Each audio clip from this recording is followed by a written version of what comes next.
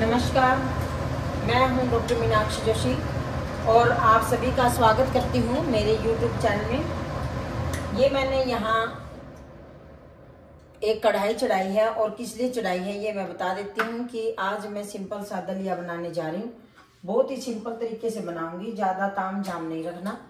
और जो जितने भी लोग हैं जिनको आती नहीं है दलिया बनाना, सिंपल दूध में, वो मैं बनाना बता रही हूँ आपको।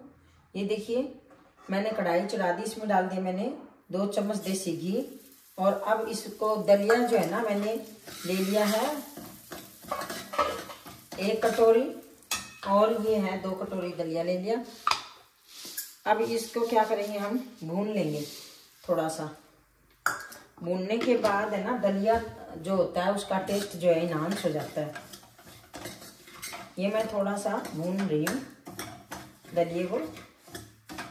देसी घी में ही दलिया स्वाद बनता है। थोड़ा सा देसी घी जो है, हमें डाल देना चाहिए ताकि टेस्ट अच्छा आए इसे। ये देखिए, दलिया जो है हमारा भुन चुका है। अब हम क्या करेंगे? बहुत ही सिंपल ट्रिक है, बहुत सिंपल सा है दलिया। हर एक को ही लगभग आता है बनाना। लेकिन यदि आप इस तरह से बनाएँगे तो बहुत ही स्वादिष्ट बनेगा दलिया हमारा।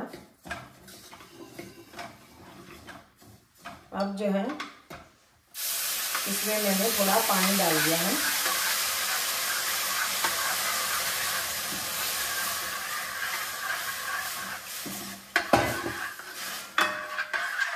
दलिए में मैंने पानी डाल दिया और गैस को कर दिया है मैंने थोड़ा सा तेज। लगभग मैंने एक डेढ़ गिलास पानी डाला है। ताकि ये दलिया थोड़ा सा पक जाए अच्छा सा बन जाए ताकि। ये देखिए, यहाँ जो दलिया है वो बन रहा है हमारा। ये देखिए, मैंने ना दलिए में जो पानी डाला था, एक गिलास वो पानी जो है बिल्कुल ऑब्जॉर्व कर लिया।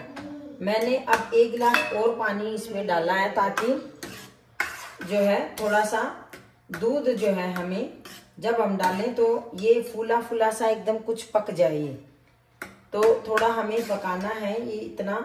ये देखिए, ये थोड़ा थोड़ा पक रहा है ना। ये देखिए। अब हम क्या करेंगे?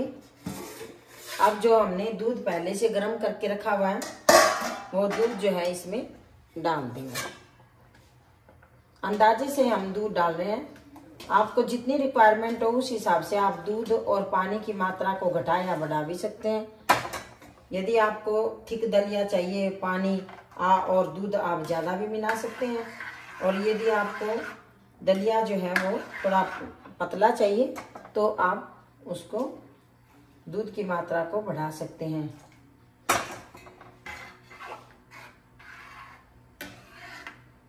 ये देखिए मैंने दूध इसमें डाल दिया है। यदि हमें और भी आवश्यकता हुई दूध डालने की तो हम और भी दूध डाल देंगे। मैंने दूध इसमें डाल दिया है। और अब हम क्या करेंगे? अब गैस पे ना, एक बार सिम कर देंगे। तेज आँच पर हम दलिए को नहीं पकाएँगे, नहीं तो ये नीचे से लग जाएगा फिर। अब मैं इसको क्या करती हूँ, हर दो मिनट में मैं संभाल लूँगी इसको, ढक के रख देती हूँ। ये देखिए मैंने ना रिक्वायरमेंट के हिसाब से और मैंने दूध डाल दिया। और थोड़ा सा पानी मैंने गर्म करके भी डाल दिया था। ये देखिए, मारते रहना है। तीन तीन दो दो मिनट में नीचे कड़छी, ये नीचे जो है ना लगने का डर रहता है दलिया। ये देखिए, कम से कम ये चार पाँच जनों का आराम से मतलब बन जाएगा हमारा दलिया जो है। और यदि बच भी जाए तो आप जो है दूसरे दिन आराम से इसको खा सकते हैं। दलिया ऐसा हमारा बनेगा जैसे एकदम मुलायम और इतना स्वादिष्ट दलिया। अब मैं इसमें क्या डाल लूँगी मैं आपको दिखाती हूँ। अभी हमारा दलिया जो है वो पका नहीं है। ये देखिए। मैं हाथ लगा के दिखा देती हूँ, थोड़ा कम। देखिए देखिए, थोड़ा सा कसर है दलिया में। तो इसको मैं ढक के रख देती हूँ एक तरफ़। यहाँ।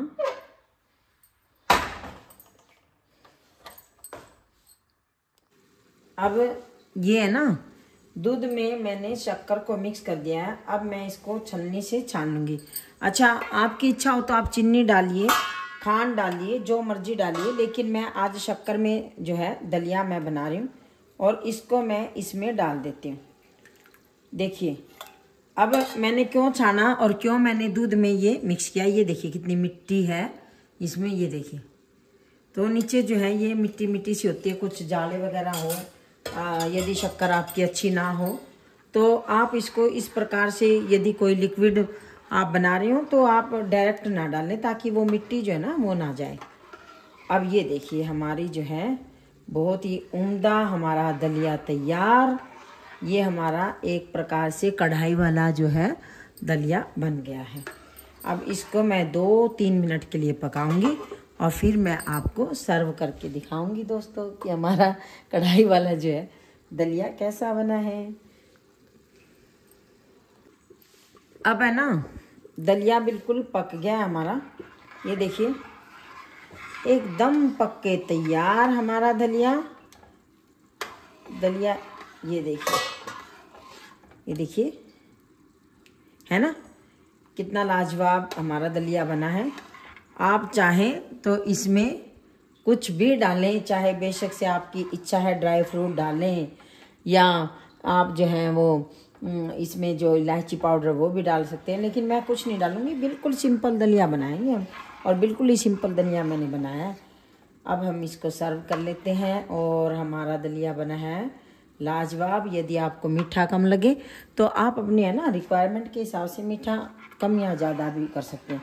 लेकिन मैंने बिल्कुल लाइट मीठा रखा है और इसको हम सर्व कर लेते हैं। ये देखिए ये देखिए। स्वादिष्ट दलिया बन के तैयार हो जाएगा हमारा।